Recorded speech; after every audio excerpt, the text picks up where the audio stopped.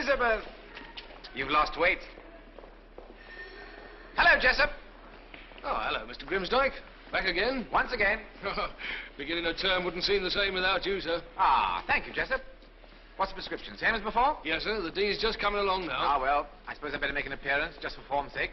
Oh, I think you'd better. at least I can read the paper.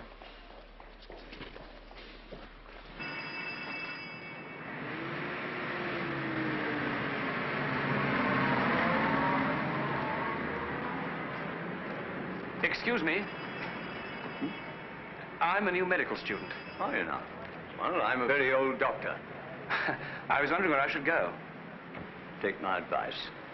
Straight into another profession.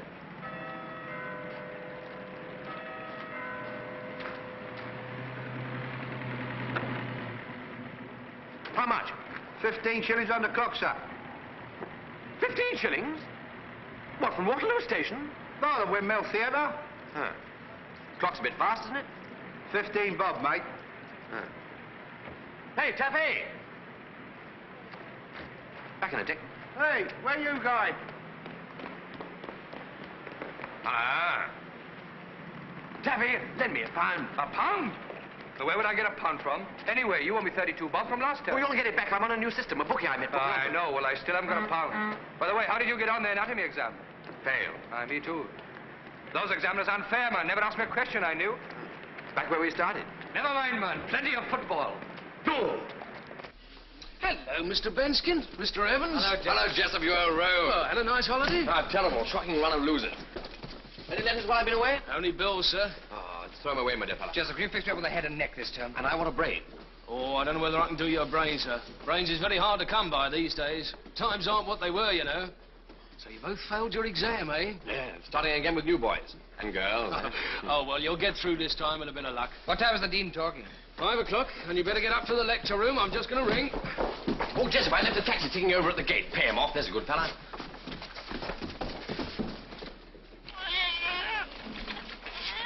Excuse me. Sit down here, please. Name? Uh, Sparrow. Si- Simon Sparrow. Have you been here before? No. Have you a doctor's letter? No, do I need one? Please. You're making it very difficult for us. Oh, I'm terribly sorry. I was just sort of have trying you or have you not been here before? No. Very well. Go in there and take your clothes off. Oh, now, wait a minute, please. Really, some of you patients are the limp. I'm just trying to explain... What's the matter, Mrs. nurse? Oh, Sister Virtue, it's his patient. He won't take his clothes off. Oh, won't he? We'll soon see about that. I've been trying to explain for the last half hour. I'm a new medical student.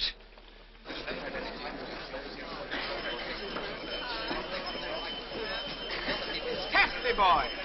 Hello, Grim. How are you? Late me football? Hello, Tony. How's the love life? Oh, easy come, easy go. Oh, excuse me. I wonder if you could tell me where the students go, please. Well, certainly not in here. Where are you looking for? Well, actually, I'm new, and I just wondered if you could perhaps tell me where I ought to go. Oh, you want the medical school. That's right over the other side. Yes.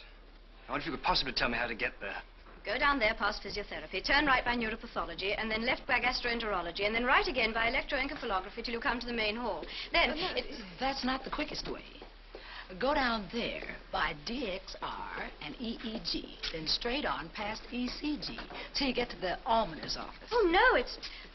Well, you're going in the right direction anyway. Thank you. Very much. you took the stitches out too soon, didn't you? Funny. Let me help you. It is customary for me, as dean of this hospital, to welcome new students at the beginning of each year.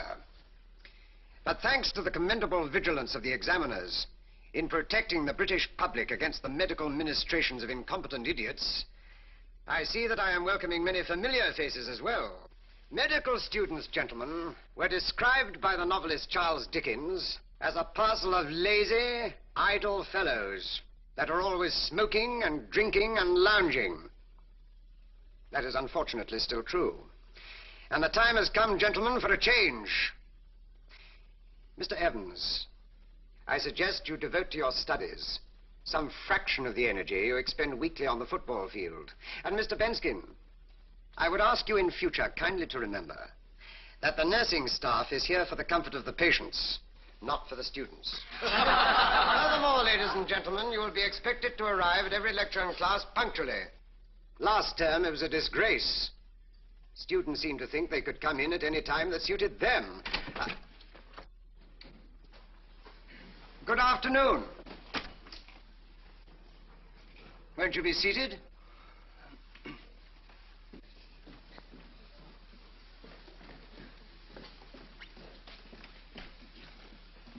May I continue?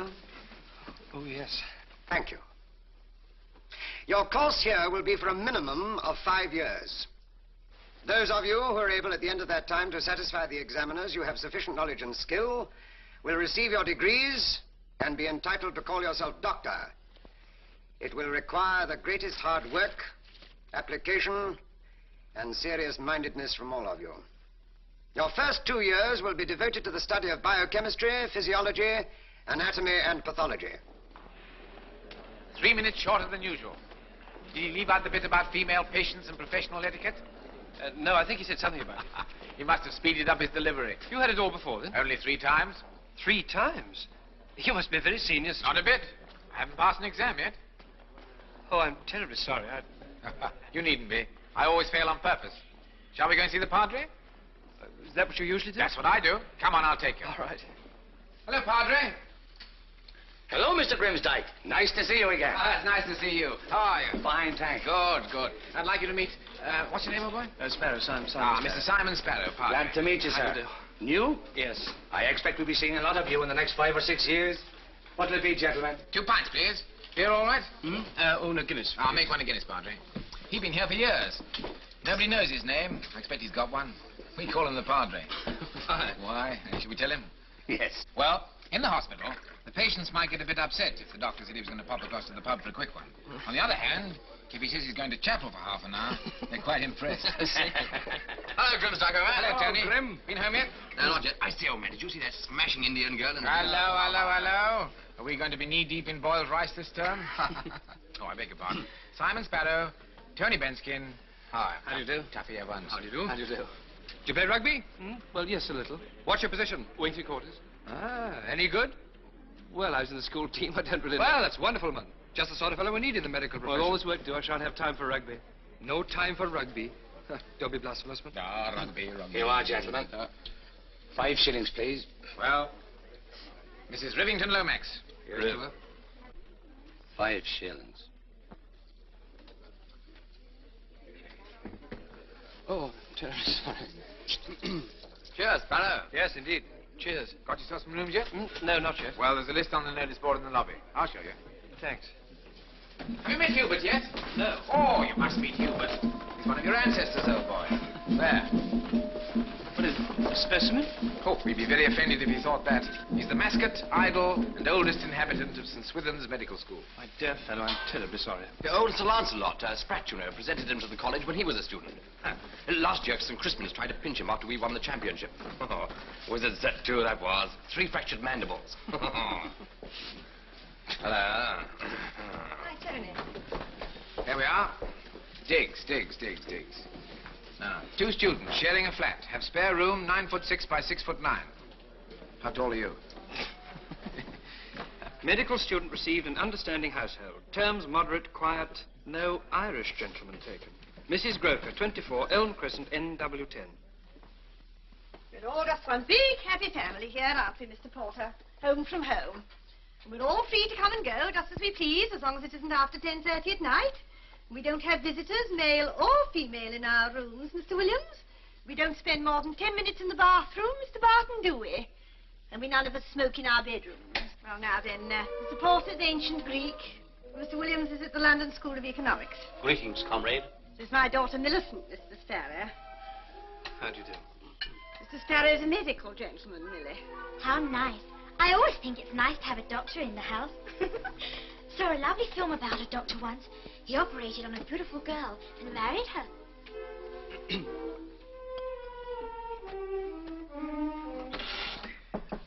Come in.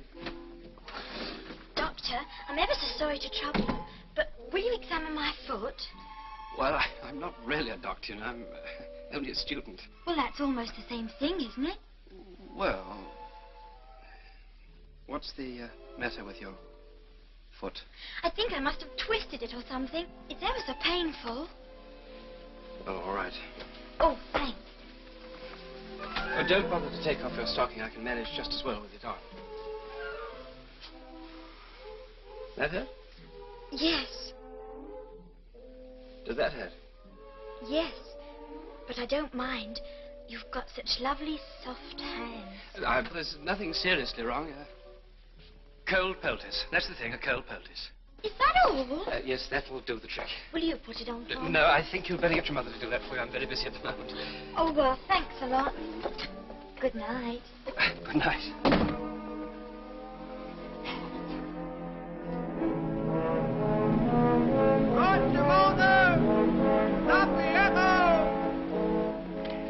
I say, do I really have to learn all this? I'm afraid so, sir. Oh, these are nothing. You wait till you start your clinical studies. And don't worry, though. I'll see you through. Uh, may I recommend this? It's not actually on your list, but if there's any difficulty with all of these, you might be very glad of it. What is it? Student's Friend. It's a great help in time of trouble. Fits very easily into the pocket. Oh, all right, put it with the others then. Very well, sir. You won't regret that. Oh, and I must give you a copy of this. Yes, and I also want a skeleton. Naturally, sir. One can't get anywhere without a skeleton. Uh, would you like the ordinary skeleton at ten pounds or the deluxe with extra hands and feet? I think the ordinary one will do. You know, I'm not sure, but this one might suit me better. Oh, no, sir. This one has the most perfect pelvis of any skeleton I've seen. Oh.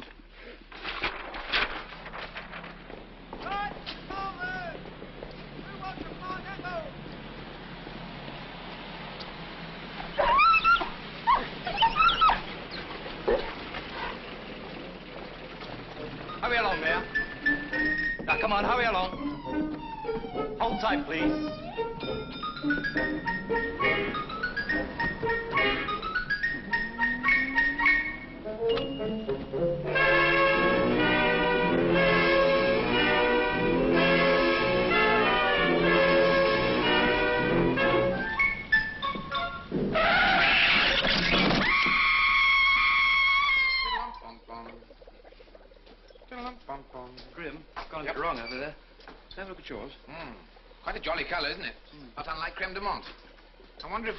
Waistcoat anything like that.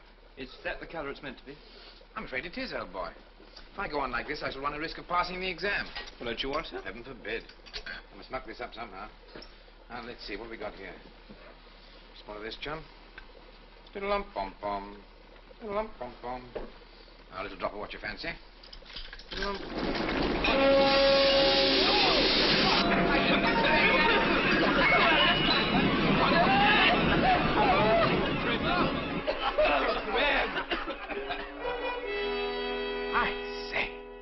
That's a most pleasing effect, don't you think?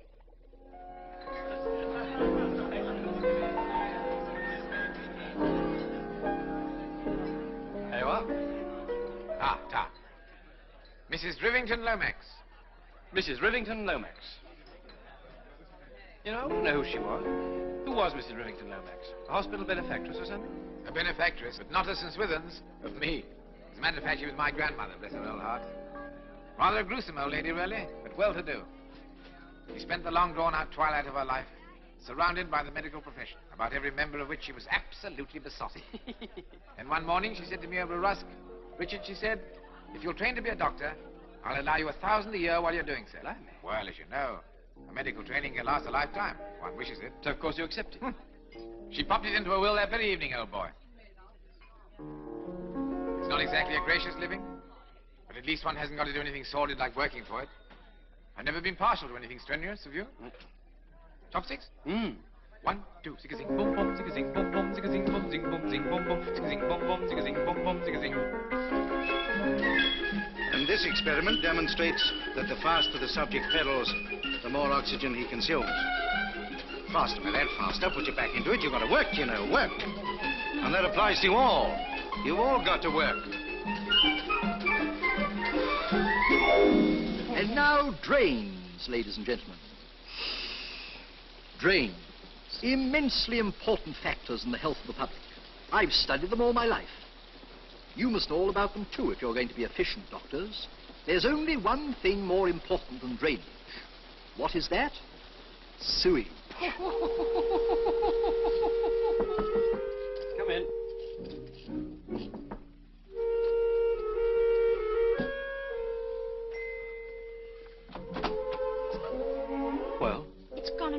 to my hip now. out. Landlady's daughter, the oldest joke in the world. Yes, well, this one went a bit too far. Women are all the same, boy. I was talking to a lad in the psychiatric ward the other day. He calls it behavior pattern or something. I've given him a notice. Well, I don't quite get why. She sounds rather a good show. If you like that sort of thing. Oh. Doesn't do your rugby any good. Have you found anywhere else? Nope. You keen in your habits? Hmm? Well, I mean, do you drink beer in bed? No. No. I was going to suggest you move in with all of us, but I doubt if the domestic climate would be congenial. I could always uh, learn to drink beer in bed. Ah!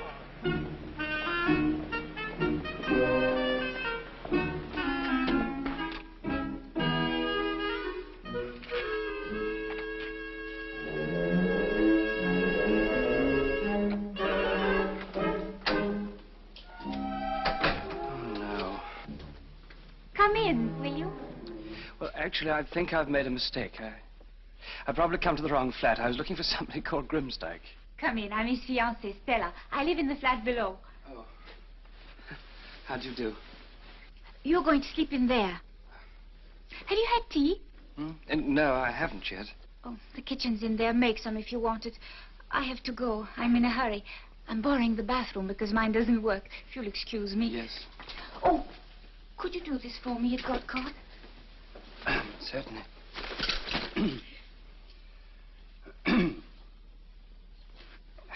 Thank you. And uh, will you bring me a cup in? What in there? Yes, I don't mind. You're all doctors, aren't you? Oh, yes. yes. There you are. Sorry I wasn't here to meet you, old boy. I was being feudal with my tailor. Made yourself at home? Um, yes. Uh, there's a lady called Stella in there having a bath. Ah, Stella, my fiancée. You've met. Hmm. Ravishingly beautiful. Adores me. Splendid thing to have about the house. Did you notice her sternum? No. You should. It's exquisite. Richard. Oh, she probably wants her back washed. I sometimes wonder if this is what Mrs. Rivington Lomax envisaged for her favorite grandson.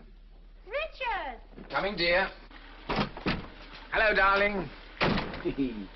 I forgot to tell Simon I had a fiancée. I have something to tell you, Richard. You haven't. Oh, not much I haven't. No, I'm serious. I've been thinking. I'm not going to marry you. What?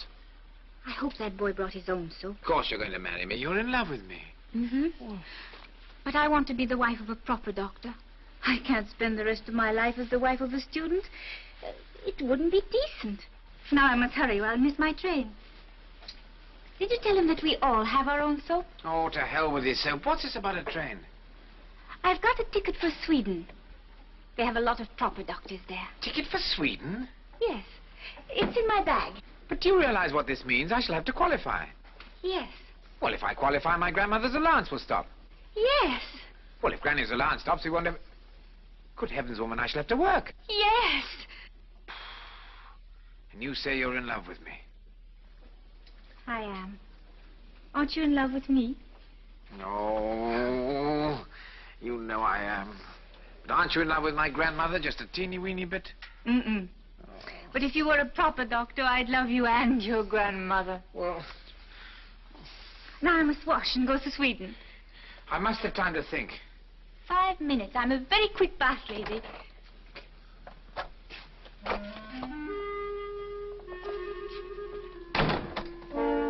You've got to work, gentlemen. Work, work, work, work, work, work, work, work, work, work, work, work, work, work, work,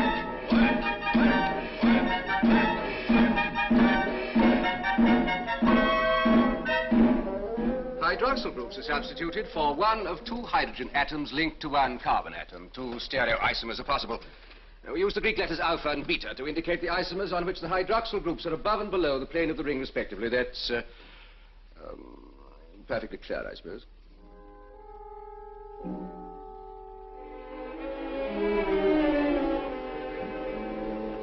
Can't think why we didn't select a profession that doesn't need exams, like conjurers or cabinet ministers. Hey, do you think there'll be a question about sarcoidosis? Oh, Lord, what on earth's that? I haven't got the foggiest idea, man. If there's one on anxiety and neurosis, I'm home and dry.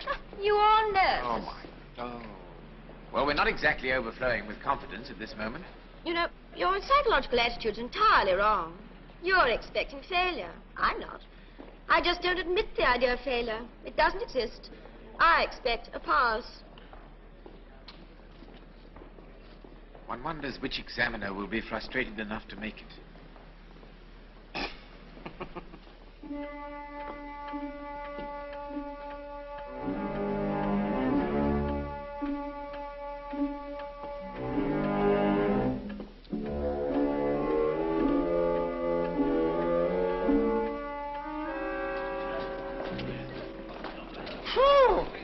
Cigarette chump, please.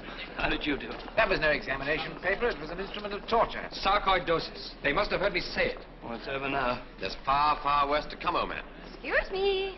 See? Easy, wasn't it? Ah, your slip showing. I feel very peculiar. Are you ill? I don't know. I think it's passing that anatomy exam, which upset me. Clever boy. I feel better. It's extraordinary how efficacious a dose of female companionship is.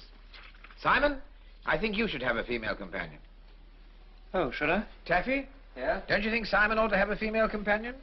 Oh, no. Not till after the rugby season. Thank you very much. I've got quite enough to do already, thanks. Well, I'm worried that he's harboring a mother fixation or something.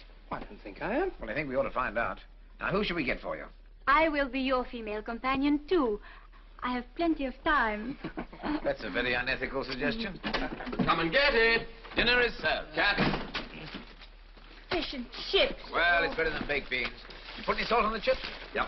We're trying to find a girlfriend for Simon. We think it's about time you had a little practical education. Have you got any suggestions?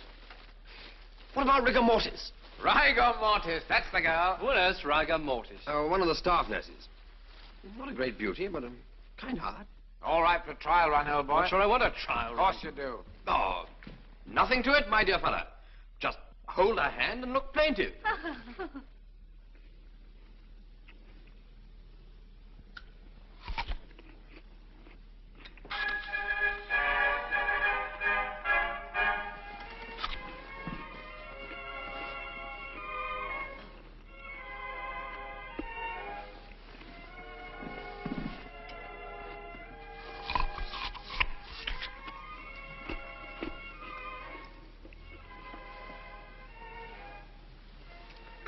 had an awful job to get here tonight.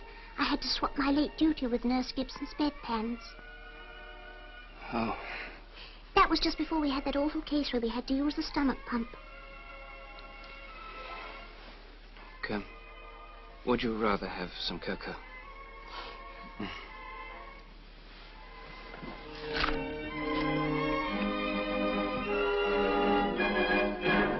It is customary for me, as dean of this hospital, to welcome new students at the beginning of each year, and to address a few words to those who are already part of the way up the ladder towards qualifying. Among the latter are some whom I must confess I had regarded as permanent fixtures on the bottom rung. However, they have, to my surprise, and I suspect to theirs, succeeded in doing enough work in the past two years to pass their anatomy and other exams. I can only hope this state of affairs will continue throughout the next three. This term, they will commence their clinical training in the wards. I wish them, though not very hopefully, well.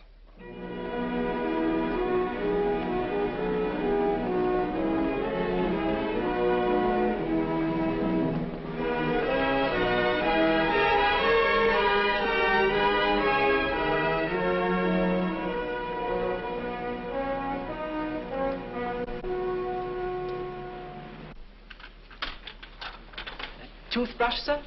Stethoscope. Oh, certainly, sir. This way, sir. Any particular type of chess piece, sir? Uh, this type's very popular, light and well balanced.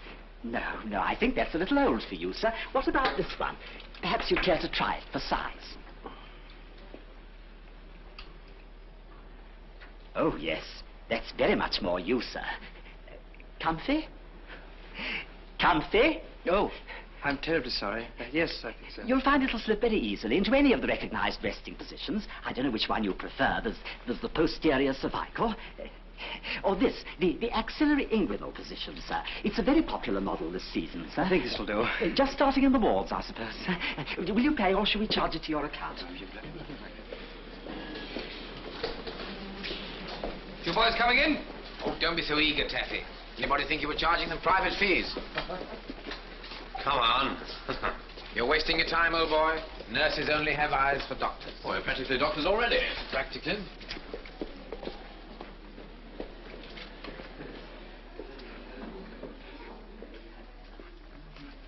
And who are you? We're the students, sister. Oh. Are you? Well, I do not like students. However, I'm forced to put up with you. But I warn you, I stand no nonsense in my ward. Is that clear? As crystal, sister. Hmm. You will examine patients 5, 12, 18, and 20. You will replace the bedclothes neatly. You will not walk upon any part of the floor that has recently been polished. And you will not talk to the nurses on any except strictly professional matters. Is that understood? Yes. Very well. You may proceed. Proceed? Proceed where? Uh, choose a number and examine it, I suppose. Hey, there's a new lot of students coming. We can have a bit of fun. I don't feel like fun. Oh, cheer up, Alfie. You're not dead yet. You soon will be if you let those students get at you. Do you think they'll know we've never examined a patient before? Oh, don't be silly. They think we're doctors. I can hear the sea.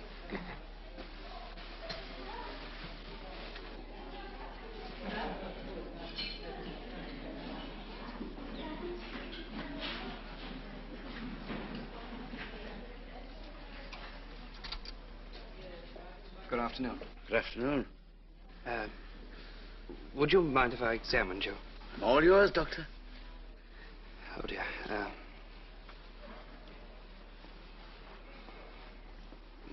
well.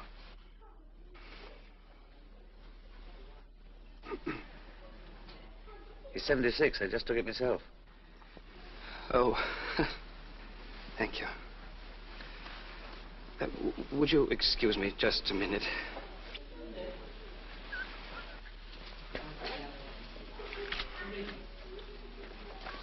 You stuck too? Yeah. What page is subacute appendicitis on? I've no idea. I'm looking for the chest.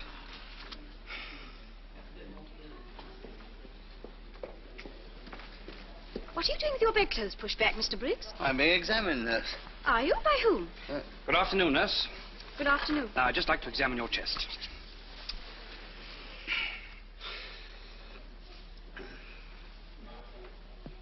It's my stomach that's wrong, Doctor. Yes, of course it is. Now, what are your symptoms? My hydronephrosis, nephrolithiasis, and attacks of renal colic. Thank you very much. He has hammer toes, too.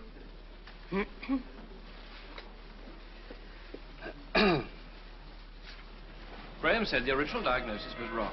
Surgery wasn't necessary. I mean, after Forgive all... me, old boy, but aren't we inclined to be talking shop? Hmm? I say, aren't we inclined to be talking shop? Oh, I'm terribly sorry. You must broaden your outlook, Simon. There are better things in life than Graham's diagnosis. Such as what? Such as that, for instance. Taxi! Taxi! See what I mean? Taxi! Oh, there You we all are. right? Uh, I think so. Oh, hunt those roads hard when you get that close to them. ever so sorry, miss. You okay? Yes, yes. It was entirely my fault. I was much too keen and eager about that taxi. You sure, miss? Uh, wouldn't you just like to come to the hospital and we'll look you over? Oh, no, really, it's only my stockings, and I don't think hospitals can do much about them, can they? Oh, can they these days? Uh, no, no. I uh, think you ought to let my colleague examine you, madam, just to be on the safe side. I promise you I'm all right. I... Are you a doctor? Oh, well, he's one of the mainstays of our little hospital, aren't you, old boy? Eh? Uh, yes, well, yes. How very glamorous. Well, I'll certainly make it a point to visit this hospital, if it's ever anything more than a pair of stockings. Do. I'm sure we can always find a bed for her. Eh, Simon? Uh, yes, uh, sure. Well, if you could help me into the taxi, I think I ought to go home. Uh, yes, certainly. 33 Cornwallis Mews. Goodbye. Hmm. Bye. 33. Cornwallis Mews. Not a bad fit at all. Now, I know it's unnecessary to say so, old boy, but no gravy spilt or anything like that, I beg. It's brand new. Right? And Simon, dear, when you make love to her, do not be too English. Be a little more aggressive, like Sure, we can do without that, Stella. He's late already. Got some cash? Yes, I have. Three pounds. I pulled my microscope. Oh, that'll do. Don't you go drinking champagne and stuff like that now. Why not? Well, because it's bad for the wind, that's why.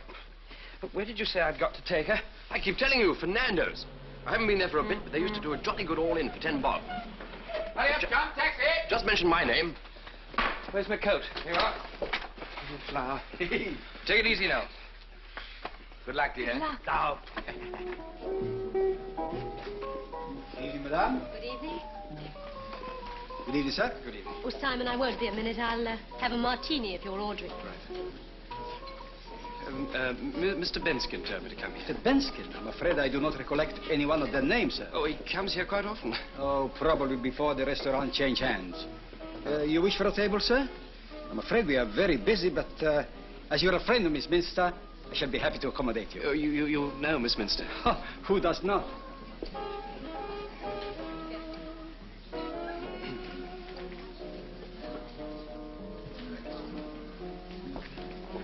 Something to drink, sir? Hmm? Oh, oh, yeah, yes. Uh, um, a dry martini and a pint of bitter, please. We don't serve beer here, sir, I'm afraid. Oh. Oh, well, then two dry martinis. Large, sir? Yes, of course. Very. Your Stockholm ticket, sir. Oh, thank you very much. Thank you.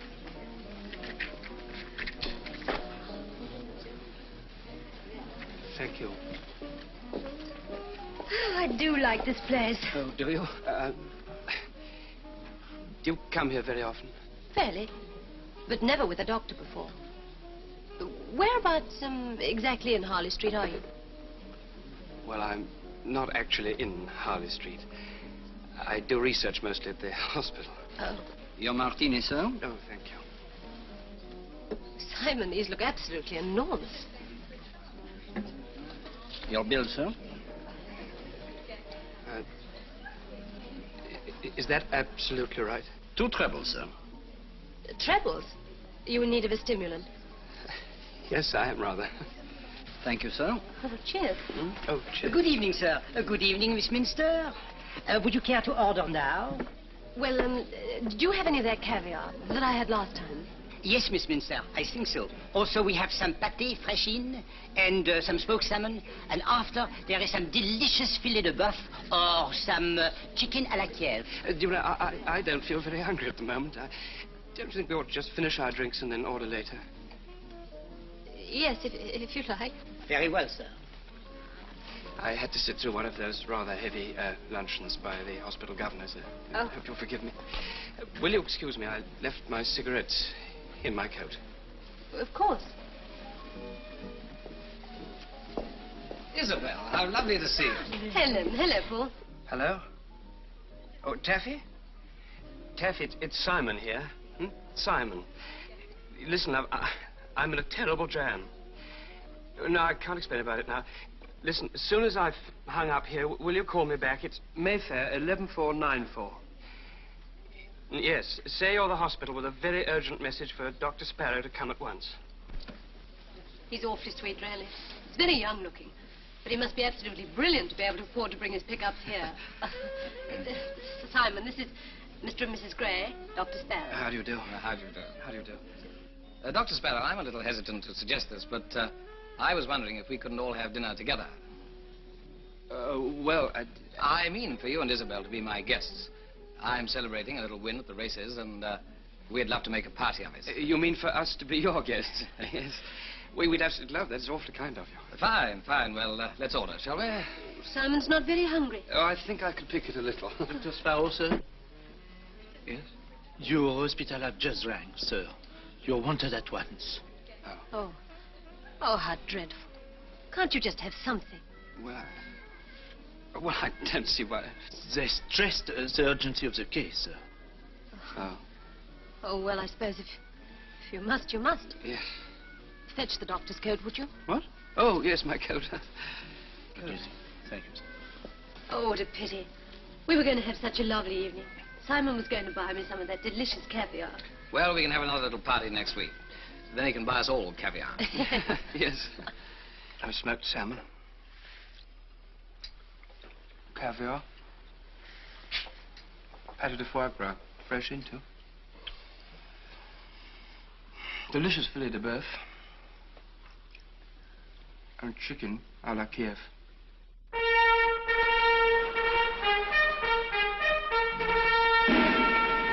Lancelot. Good morning.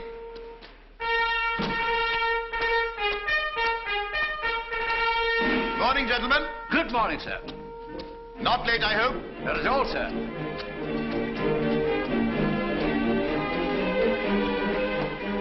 Come along, my man. You must pursue me. You must pursue me. I suppose you got another half dozen boring cholecystectomies today? Yes, sir. After last night, I feel like one myself.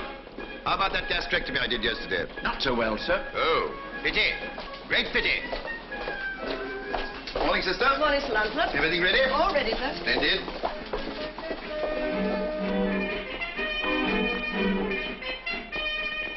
Now, you just lie still, old fellow. I've just got to discuss your case with these uh, young doctors here. Take his pajamas off, sister. You, examine his abdomen. Ah, take that grubby fist away. The first rule of diagnosis, gentlemen, eyes first and most, hands next and least, and tongue not at all. Look! Have you looked? Yes, sir. See anything? No, sir. Very good, carry on.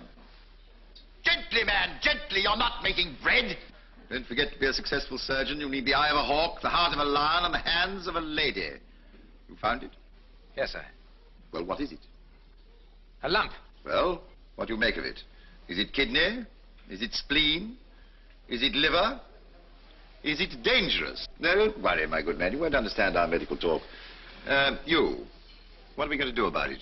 Um, Cut it out, man. Cut it out. And where shall we make the incision?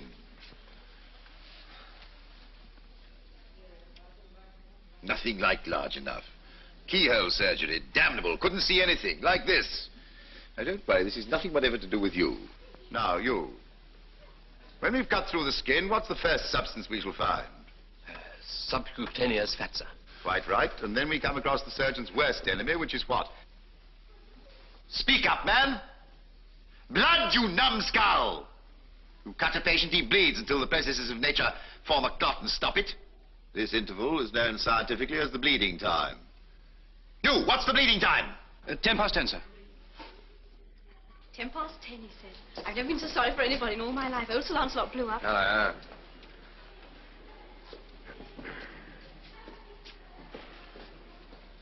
Sister Virtue nearly had a baby. Hey! Have you seen that little fair-haired nurse in the ward, eh? The one who looks after your patient Sparrow? Yes. Oh, what about that for a bit of homework, eh? Not for me, thank you. That's the one that winked at me when he asked me that wretched question. She winked again when he bawled me out. Wink twice, eh? Yes. Oh, you must follow that up. I don't want to follow it up, thank you very much. I've followed up quite enough already. Of course you must. You must leave no stone unturned, must he, Tony? Oh, certainly not. But you know what nurses are? Oh, they're all right for a flip. Yeah. But they all suffer from tinnitus. What on earth's that? Tinnitus? Uh, ringing in the ears, old man. Wedding bells. Isn't that so, Jessup? Well, I know plenty of you young gents who've got hooked and landed before you even knew what a worm was. Rubbish. Press on with us, Simon. We're right behind you. Are you two at him again? Why can't you let that boy be celibate if he wants to be? Celibate? He doesn't want to be. He likes girls. What? No, I don't want to be celibate. Well, then how do you expect me to pick a rugby team that's strong and fit? You must ask her out. I don't want to ask her. I don't even like her very much. That's not the point. It's your duty to the spirit of scientific experiment. Anyway, you've never get near a nurse with the sisters around. Ah, but love laughs at sisters, eh, Jessup? Now, look.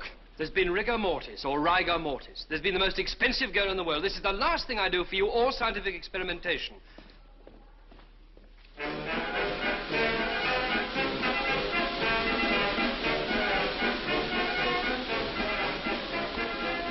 It's beautiful, isn't it? All right, I suppose. I wonder where all the water comes from. The river. Hmm? The Thames. I said the water probably all comes from the Thames. Oh, I see. Hmm. Could we have some tea? Yes, if you like. Well, we might as well now we're here. All right. You didn't really want to take me out at all, did you? Of course I did. Why do you think I asked you? That's the point. I don't think you did. I think you were put up to it. What a filthy thing to say. I bet the other said to you, that little fair nurse is taking a great interest in you. You ought to get acquainted. It's absolute nonsense. It's not. It's true, isn't it? They cooked it up. No, they didn't. Admit it. Oh. Yes, all right, in a way they did. There, I knew it. Why did you come out with me if you knew it? Well, I didn't know it then. I thought it'd be rather fun. I like going out. I rather like you. Oh. Now I feel absolutely awful. Oh, don't worry about it. We all make mistakes. And now we know the truth. There's no point in going on with this. I'll clear off and go home. Oh, please don't go. Honestly, I'm terribly sorry. I, I like you too. Uh, now we know the truth. Couldn't we start all over again? I'm an awful clot, really. I wanted to ask you out often, but I didn't dare ask on my own. Why not? You always look so jolly superior, as if I got holes in my socks. You're always laughing at me. I wasn't, Simon, honestly. That ruddy suitcase. Oh, that. Well, it was rather funny. Well, I suppose it was, really. Look, let's start again from scratch, shall we? We'll buy a gun, and we'll go to every place on it. Right, from start to finish. Right, come on.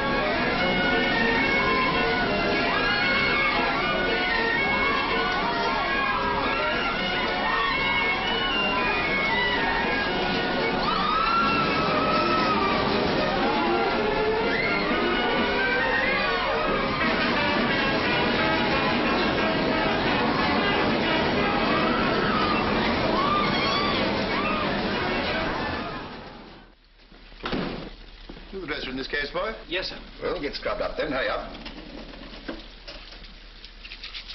First time you assisted? Uh, yes, sir.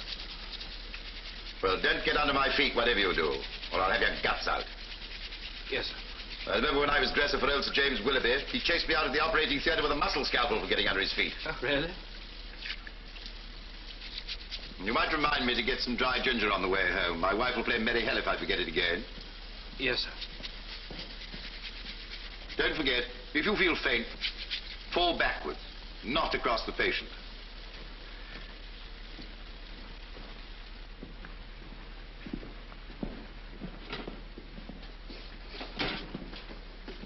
Everybody's pampered to death these days. They're all bewitched with free teeth, spectacles, and psychiatrists. Good afternoon, all. Good afternoon, Sir Lance. All right, let's get started. Left nephrectomy. Come over here, boy, You can't learn surgery from the doorpost. Now remember, although it looks easy to you gentlemen, I've been doing this operation for 20 years. All right to start, Stubbins? He looks a bit blue down my end, but uh, I suppose you'll know your own business. Sister, how the hell do you expect me to operate with this jam spreader? Why is it that every operation I do in this hospital is plagued by incompetent assistants and blunt instruments? Don't cry me, boy. That's much better. Hang on to your swabs, gentlemen. This is terribly important. You can cut the patient's throat while he's under an anesthetic and nobody will mind. But if you leave anything inside, you'll be in the Sunday papers in no time. Now for the first incision. Swab, man, swab! Have I got to do everything by myself here? Watching boy? Catch him, someone. Another Spencer Wells, sister. Hurry up, woman. Edge of quadratus lumborum, gentlemen. See it? Another clip, sister, right?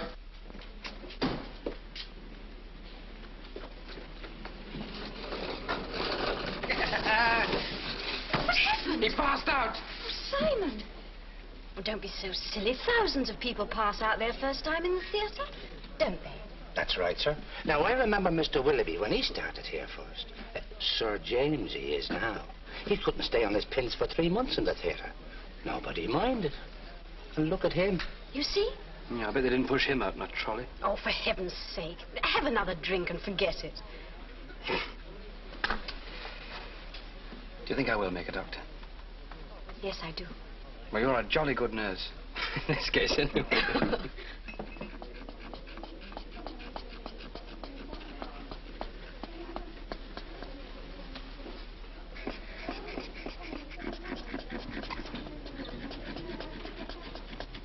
Hey, Gov. Oh, Briggs. I'm terribly sorry. Were, were you looking for someone? Uh, yes, I was actually.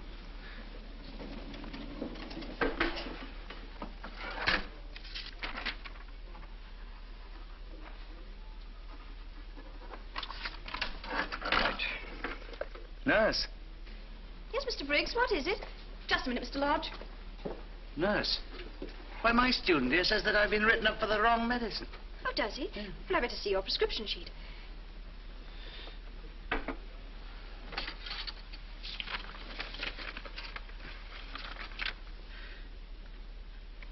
That seems perfectly all right to me. Yes, well, what time does he say I should take it? Six o'clock. Six o'clock. Is there any trouble here, nurse? No, sister. Mr. Sparrow was just discussing a forthcoming operation. Hmm. You better go back to Mr. Lodge. Yes, sister.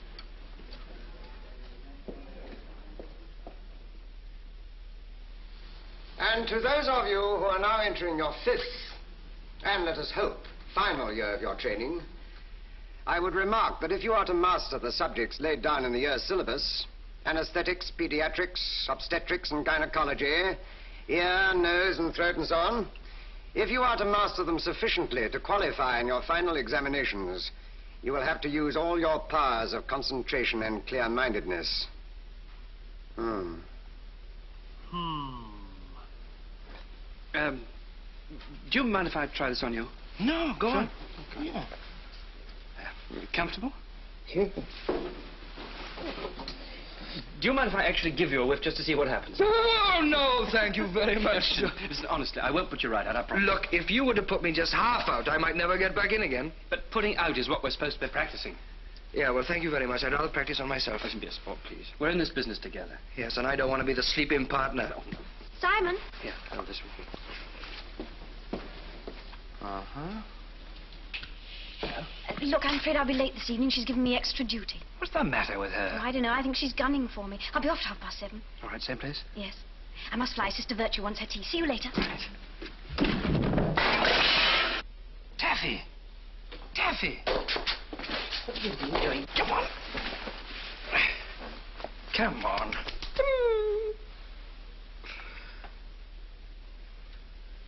What? Hurry up. She's screaming for that. She's on the warpath. Hurry. All right. Nurse Gibson, that was orange pekoe.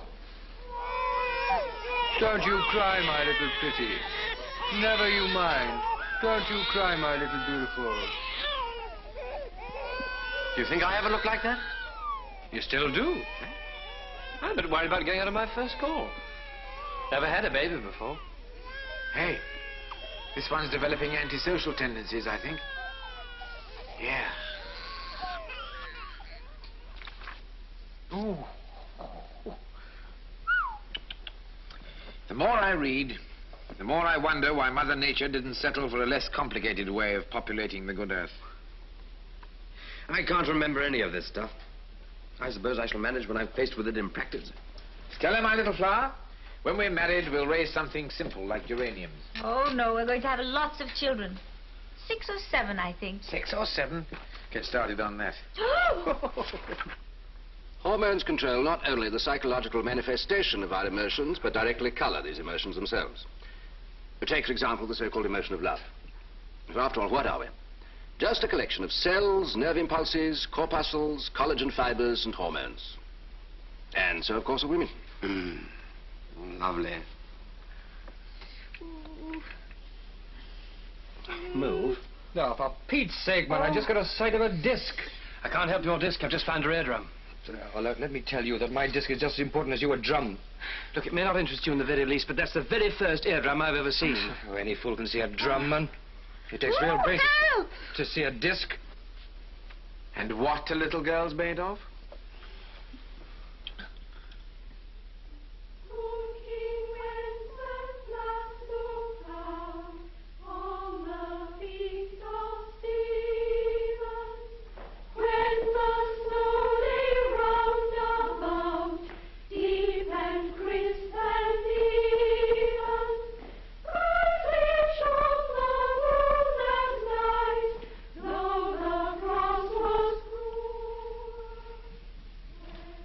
Christmas Eve. What a time to start midwifery. I only hope no mother starts producing in the next eight hours anyway. Ah, don't worry, man. The people around here seem to go in for large families, so you or the mother should know something about it. Oh, Merry Christmas. Merry Christmas. You two boys on call tonight? Yes? Ever had a birth before? Well, not actually. Oh, well, the midwife will be there to help you through. Here's your tackle. Remember, check it before you go to your mother. Have you got your threepence? Threepence? What for? To Telephone the hospital if you get into trouble. And mind it's not too late. Who's first out? Him. Oh. you better make up your minds. well, things seem nice and quiet at the moment, anyway. Ha! Once it starts, they pop up like rabbits out of a warren. Oh, well, good hunting. ah, Merry Christmas. And ha, Merry Christmas to you, sister. Oh. I just popped in to see how things are. Quiet? Yeah, same in casualty. We're just taking time off to step up to Prudence Ward. That night nurse, you know. Oh, I've been on her trail for weeks. And it was you who said beware of nurses. Oh, this one's all right. Just wants her stocking filled a little. Mhm. Oh, Christmas Eve, you know. See you later. Well, toss you for who has a baby first. Tails. Tails. It's me.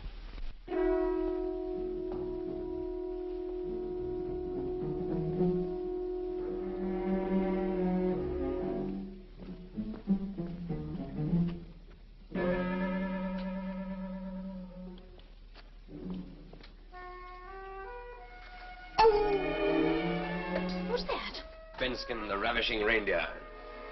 You startled me. What are you doing here? Bringing presents to good little girls.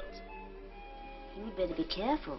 Night sister may be round. Oh, I'd brave every sister from here to Tibet to wish you a happy Christmas, you luscious little Florence Nightingale, you. Don't be silly. Would you, um, like some cocoa? Cocoa? I didn't come for cocoa, I came for you. Now wish me a happy Christmas, you succulent starched uniform with a soft center. Mr. Benskin, I'll scream.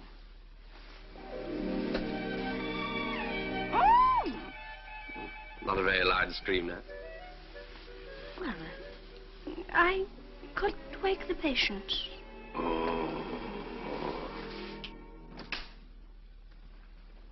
Mr. Sparrow, sir. Mr. Sparrow. What? There's a case just come up. Where? I've got the address here. Mrs. Cooper. She's an old customer. This'll be her seventh. Here we are, 23 Paradise Street. What's up? What's the time? It's zero hour. Oh. Good luck, man. I shall need it. The bicycle's outside. Only mind how you go with it. It's a bit temperamental until you're used to it.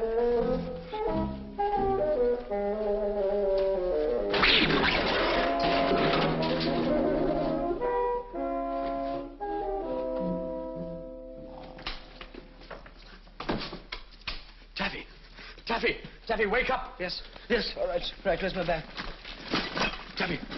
Oh, it's you. I thought it was a baby. Taffy, wake up! You, you, you've got to help me. So, something terrible has happened. Oh, what's up? You know that little girl upstairs? Uh, The one I popped up to see? Yeah. Oh, wake up, man. Don't go to sleep. Go away. Well, I was up there just now, and I, I was feeling pretty good, what with it being Christmas Eve, and, and she was being cooperative. Disgusting. Eh? What? What with the soft lights and the mistletoe and everything, huh? Strike me down before I knew where I was. I, I proposed to the woman. She accept? Accept? She said, yes, please. well, congratulations. You'll make a lovely bride. Why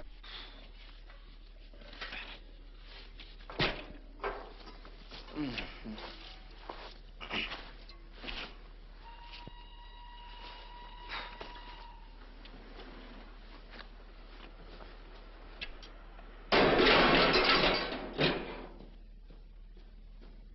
Didn't you go upstairs and tell her it was only a joke? We were hauled up for breach of promise and kicked out of the hospital.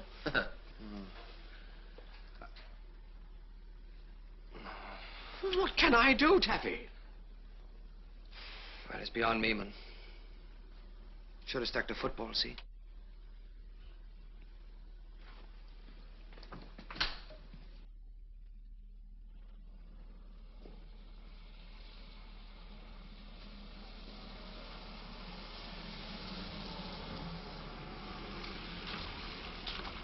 You think you're doing? Sunbathing? Quick, I'm going to a utility case. Oh, that's different, Doctor. Hop in the back. You're...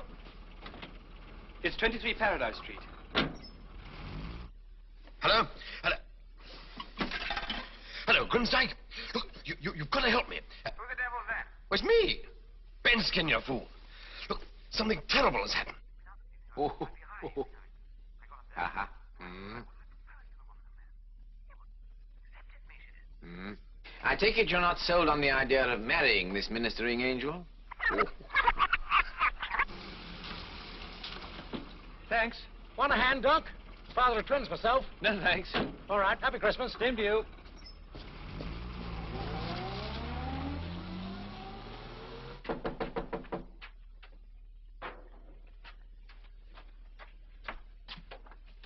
Good evening. I'm from the hospital. You'll have to hurry, Doctor. She's getting near. Is she? I've got the water boiling. Good. Is the midwife here? No, Doctor. No. Stuck in the snow, I wouldn't wonder. Still, it doesn't matter now you're here, does it, Doctor? Is the doctor, love?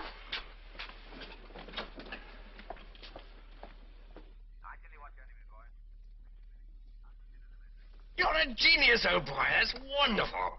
Right, I'll get cracking right away. I can never thank you enough, old man. Bye.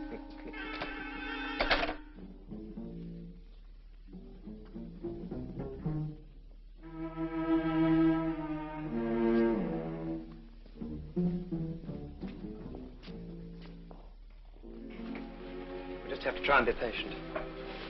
I'll try, Doctor. Where's your husband? Oh, he's asleep next door. Asleep? Does he always sleep Oh, when... no, he didn't for the first three. Oh, I see. Any sign of the little duck yet, Doctor? No, not yet. Any sign of the midwife? No, I don't expect she'll get here now. Oh. Is there a telephone somewhere around about here? Down at the corner. I'll just pop down oh, there. but it's out of order. It has been for weeks. Hmm. Well, I'd better borrow some more water. More? There's enough there now to bath the old of Dr. Barnardo's.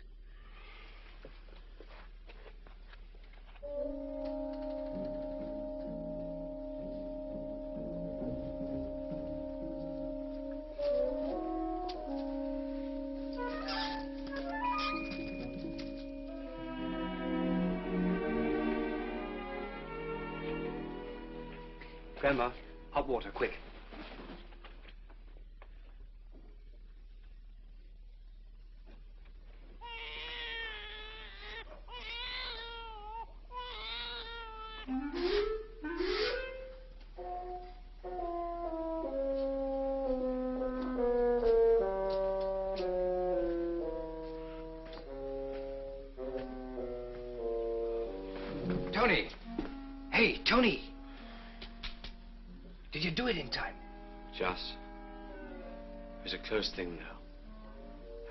Close thing, old oh boy.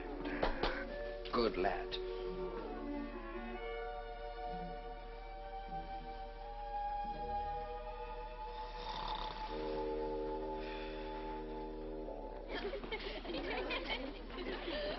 Merry Christmas. Merry Christmas, girls. I've got some news for you. Tony Benskin proposed to me last night, and I accepted him. He gave me this. Isn't he sweet?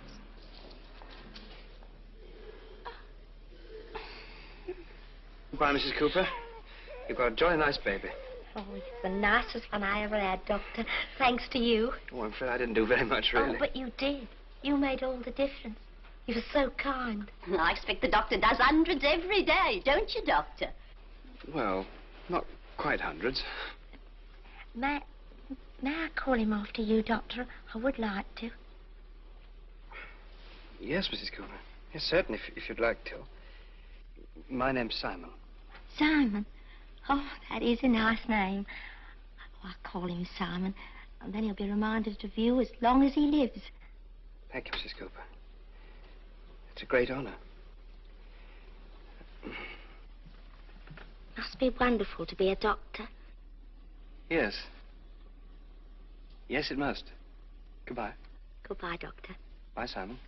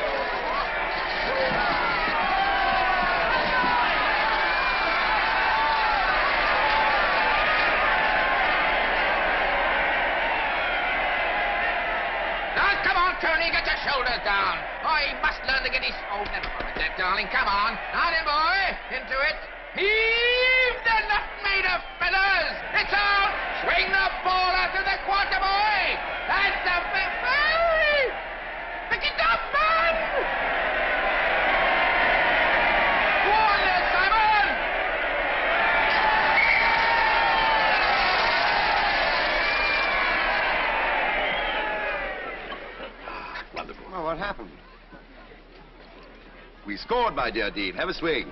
Thank you very much. Do good. Come on, Bolton. Right through the timber, boy.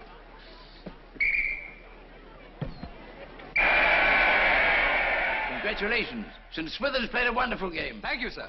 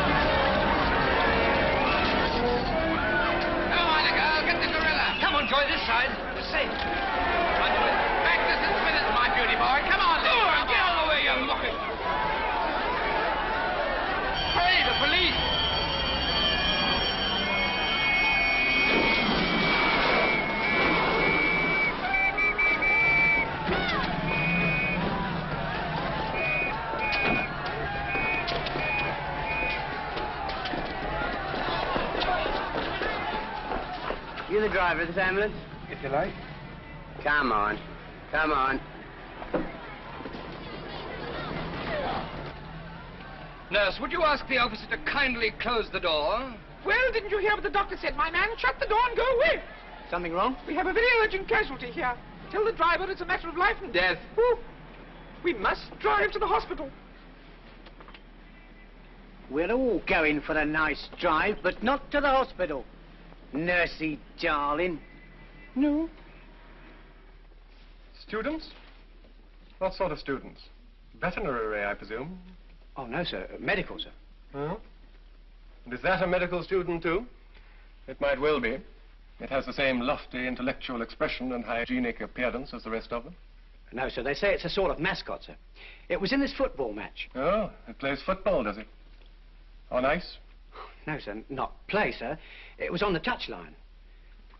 Thumping its chest and bellowing pass, I suppose. I still don't understand what it was doing in the ambulance. Can any of you enlighten me?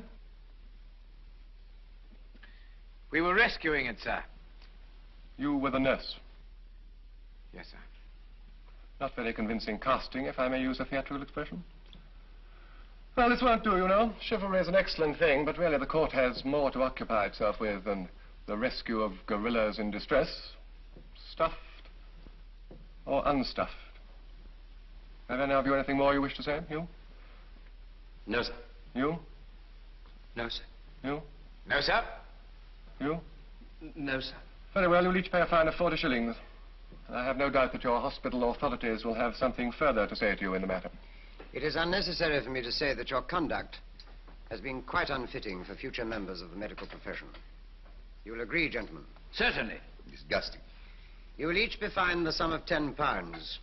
And I warn you, if any of you commit the slightest breach of discipline during the rest of your time here, you will be expelled from the medical school forthwith. That is all.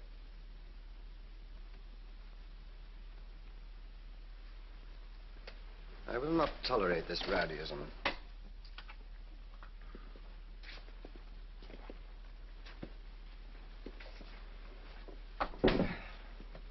Ten quid. I can't raise that.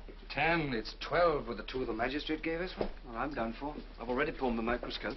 Well, I'm afraid Mrs. Rivington Lomax can't help, boys. We've only just finished paying for the car. If we don't find it, we're done. Pay fines in 24 hours. That's the rule.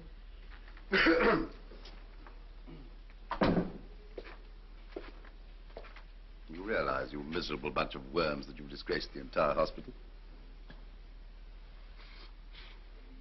Well, you've had your punishment. And richly deserved, too. In my day, they'd have thrown you out straight away. Behaving like a bunch of hooligans just because the hospital won a football match. Here, you. Take this prescription down to the dispensary and get it filled for me straight away. Oh, so-and-so. What does he want a prescription for? Arsenic, to take himself, I hope. What's it say, Simon? Pay Simon Sparrow. Forty pounds. Lancelot Spratt.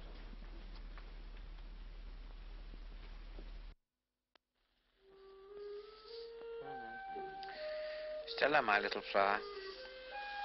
Would you like to give me a long, lingering kiss? No, Why? I'm reading. What? Pamphlet about Spain. About Spain? Why? I think I might go there. What for? You'll never be a doctor, ever. You should be studying for your final exams. And all you do is to lie on that sofa and dream. Nonsense. Finals aren't for ages yet. Finals are in exactly four weeks.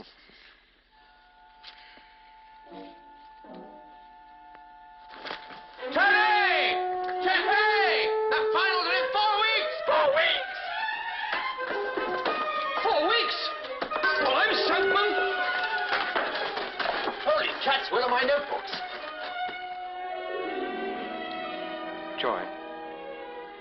Tell me the answer, please.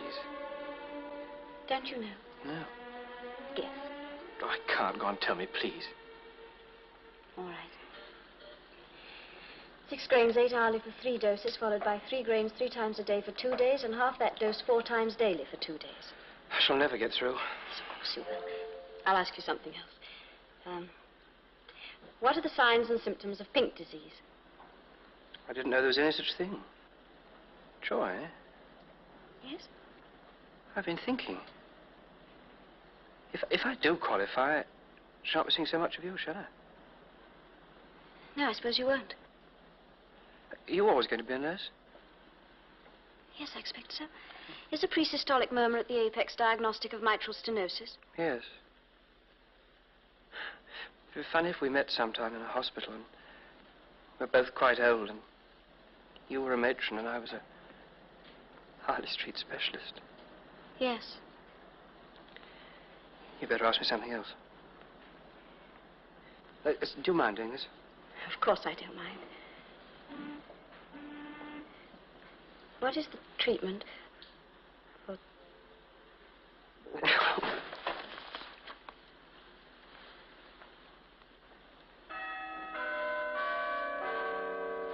What's it striking? What? Quarter two. A. I dash. Come with you.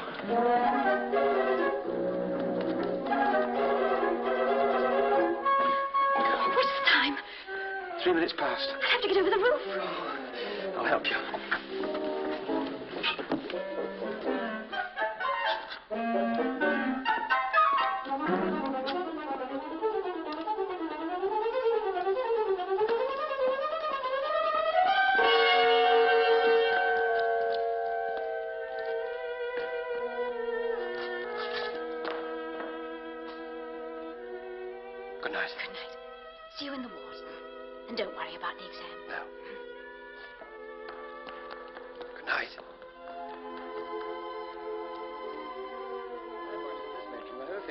Thing is a question for the governors.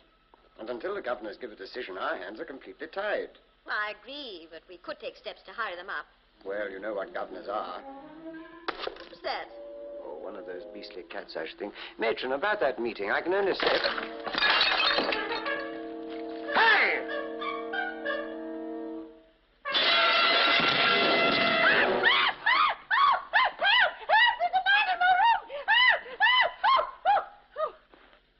Sister Virtue. Mr. Sparrow, good of you to drop in. I slipped. You certainly did, Mr. Sparrow. Simon! Simon, you all right? Oh, Nurse Gibson, won't you join us? Oh. You know, Mr. Sparrow, that it is strictly against the rules of the medical school for a student to enter the nurse's home premises on any pretext. Yes, sir. I didn't actually mean to enter them, sir. That is to say the least of it questionable, seeing that you were in the company of one of the inmates. And anyway, the roof is equally out of bounds. Is it not? Yes, sir. Your conduct was quite incompatible with that required of a future doctor from this hospital. You are expelled forthwith from the medical school. But, sir, please, I... That will be all, Mr. Sparrow. Wait a minute, boy. I say, Dean, I know rules are rules, but he hasn't done the girl any harm. And he's a very promising lad, and it's just before his finals. He should have considered that when he embarked on this escapade. Oh, I know all about that, but medical students are medical students. You can't expect them to be choir boys. Besides which, he's the finest rugby footballer we've had for a generation. Might I remind you that I am dean of a medical school, not a football manager? No, I'm afraid my decision is quite irrevocable, Sir Lancelot. Parrish, do you remember when we were students? There was a terrific rag one term after some match or other. Hmm, there were plenty. Yes, but I'm reminded of one particular one where some fellow introduced a cart horse into the nurse's home. Oh, yes, I remember. It was a large white one, wasn't it? Well, it was certainly large. That's it. This is all quite irrelevant, And he induced a nurse to play the part of Lady Godiva and ride around the courtyard. She did, bless her. Who was it? It's so long ago I can't remember. I expect I'm the only person who hasn't forgotten. I remember who it was. Sir Lancelot. Pity these stories should be allowed to die. I think I shall have to retail that one to the students as a little light relief. They'd love it, especially if they knew who was involved. Who was it? Do remind me. I. Oh, yes, I remember now. Yes. That story would be quite sensational if it got around. Just what I was thinking. Mr. Sparrow, would you wait outside? Well, I don't know. He sacked me. And they all started talking about horses or something. Then he said he'd changed his mind and fined me ten quid on the cost of the skylight. What happened to you? Well, it was extraordinary. I was in Sister Virtue's office, waiting for her to take me to matron, and the phone went. She answered it and talked for a bit. Then she went quite white in the face. I thought she was going to pass out. Then she hung up and said this time she'd overlook it and I could go. Oh. Who was it on the telephone? Sounded rather like Sir Lancelot. What did he say? I couldn't hear clearly, but I thought I heard him say Lady Godiva. Hmm? Lady Godiva.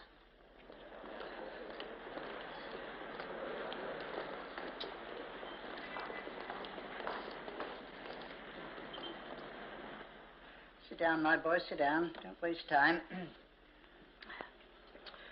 now, uh, do you know which mosquitoes transmit disease to man? Uh, malaria, the female anopheline mosquito. Yes. Very first postulated in 1894 by Sir Patrick Manson. Manson. oh, I remember him well. Charming man. Charming. We met at the BMA meeting in 1914. Or was it 13? Well, it might have been 19. Now, um, how do you diagnose malaria? Um, spleen? Yes, that's right. Oh, very good, my boy. Very good indeed. Your question. What is the commonest cause of acute heart failure? Shock, sir. Severe shock. Now, my lad, take a look in there and tell me what you can see. Be careful, those things cost money. Well, what is it? Trichinosis, sir. What? Well, some kind of worm, sir. I, I can't quite recognize them. Worms? Perhaps uh, if you removed your tie from the field of vision, it would help.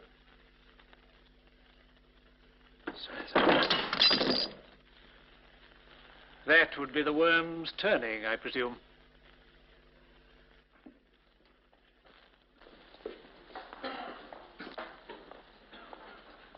Well, my boy, where do you come from? Uh, St. Swithin, sir. Number 306. Ah, yes. Now, you see these screens? Well, behind these are a lot of ladies and gentlemen who volunteered to come here and be prodded around by you blighters so that you can tell us what's wrong with them. Now, you go to number 10, make a thorough diagnosis, and I'll come along and see what you've rooted out. Off you go. Hello, Governor. Briggs! Briggs, you rascal. What are you doing here? How's that nice little nurse of yours? eh? She's fine. I thought we'd cured you. You did, Governor, you did, but I've got a whole new set of things wrong with me now. Beautiful old mess I am. They say I'm the most interesting case they've had here for years. I've got thyrotoxicosis. Shut up, Briggs. and- I'm going to find this out for myself. Be quiet. Don't interrupt, Governor. I've got a mild case of thyrotoxicosis. Think of that. Thrombophlebitis obliterans, tremors of the fingers, loss of weight, palpitations. Shut all up, kinds Briggs, of be quiet. complications. Rib, sir. What's wrong with them? Empyema, sir. And that? Femur, sir. Anything the matter? Um, osteomyelitis, sir. Do you mind? And that? Well, come on, come on, come on. I say, it looks like pickled gherkins. And this? There's thyrotoxicosis. The symptoms are loss of weight. Yes? Uh, tremors of the fingers. Yes? And the patient complains of um, palpitations. Any auricular fibrillation? Uh, no, no auricular fibrillation. Excellent, excellent. And uh, what's the treatment? Well, uh... Well? Operation. Uh, partial thyroidectomy. Splendid, splendid. Ah, my dear sir, I'm glad to see you seem to be teaching some surgery at St. Swithin's at last. This young fellow's just given a first-rate diagnosis. Really, I'm delighted to hear it. Good afternoon, Mr. Briggs. We've met before, haven't we? Ah, he's a bright lad. I'm sorry you didn't hear him. So am I. Perhaps you would diagnose another case for us. Well, uh, one's the rule. I'm sure Mr. Sparrow wouldn't mind being an exception to the rule for us. Oh, very well. He's a pleasure to listen to. Come and see what you can make of the case next door, my lad. It's a real stinker.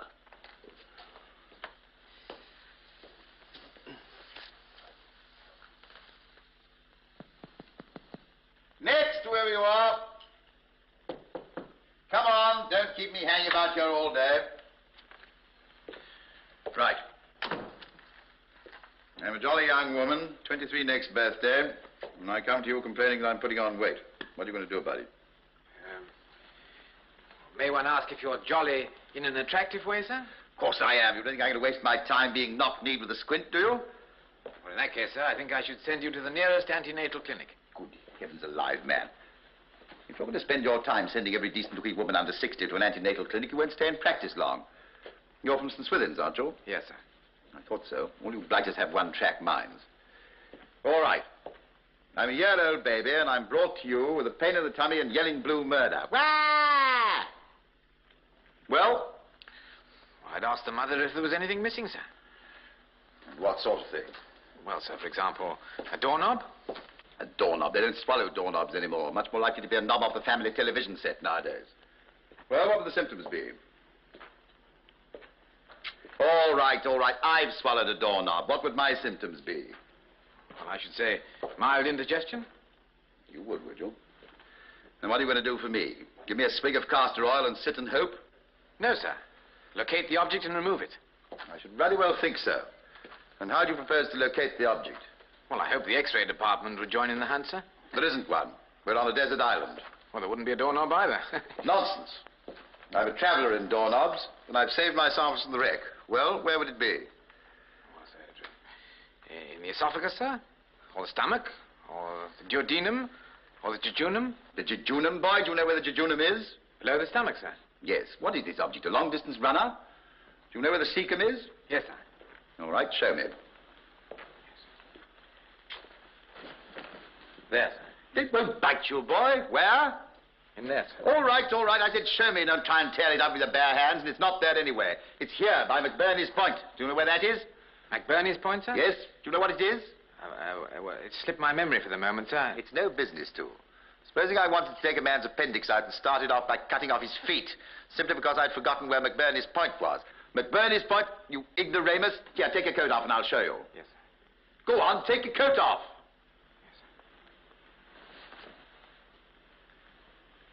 Great heavens alive, man. What on earth is that? Well, it's a waistcoat, sir. Uh, and you have the effrontery to face the examiners dressed like that? In all my years as a surgeon, I've never seen anything like it. Thank you, sir. I've never seen anything quite like it in all my years as a student. Rather fewer than usual this time.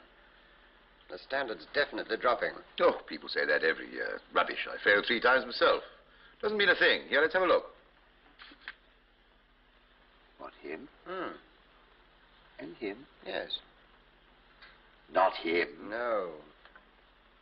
And him? Well, I don't know. It's a good thing there aren't any exams for elderly eminent surgeons. Otherwise, I should have to take up the other kind of butchery. Here you are, Jessup. Let them have it. Hello, hello. Ah, Dr. Evans.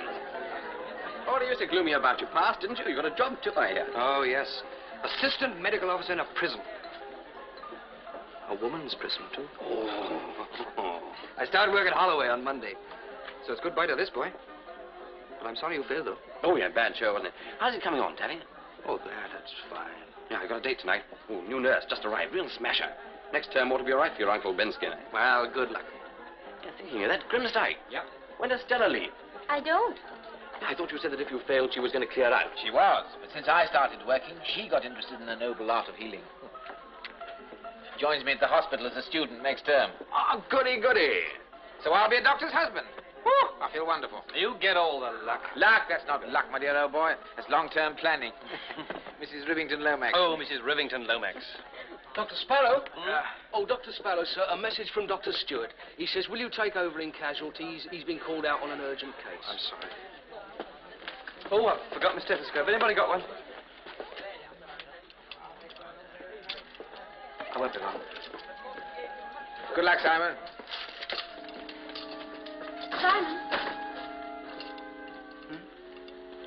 Good luck. Oh, thank you. I seem to have collected rather a lot of these. Do you mind taking some of them back for me? Yes.